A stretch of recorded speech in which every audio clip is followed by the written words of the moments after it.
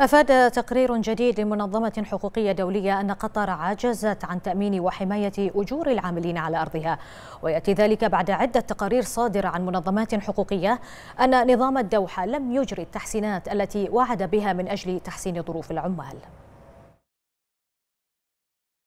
على ما اعتاد عليه نظام قطر وذرعه الإعلامية من افتراء يواصل حديثه بالزيف عن حقوق الإنسان الذي لا يعرف عنه سوى النطق به. وصوت يعلو فيه ليخفي صوتا لم يعد خافتا فهو لم يف بما التزم به من حقوق عليه للعاملين على أرضه ولم يترك للإصلاح الذي يتحدث عنه أن يرى النور.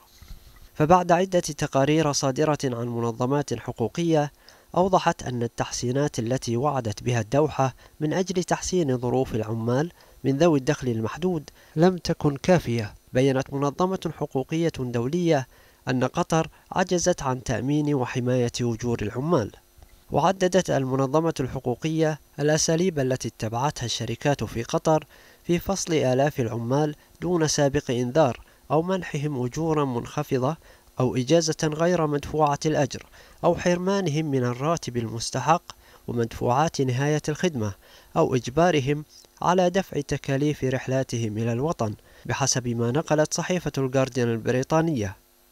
ولم تقف تلك الانتهاكات عند ذلك فحسب بل أوضحت المنظمة الحقوقية أن انتهاك حقوق العمالة ارتقى إلى مستوى سرقة الأجور على نطاق غير مسبوق مما أدى إلى تعرض هؤلاء العمال لأزمات كبيرة جعلتهم غير قادرين على إرسال الأموال إلى أسرهم.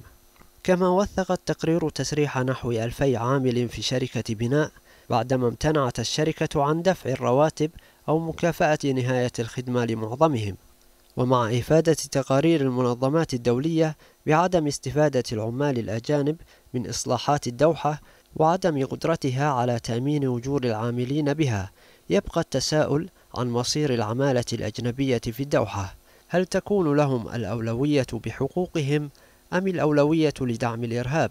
هل سيطالهم إصلاح أم لهم من مماطلة النظام النصيب؟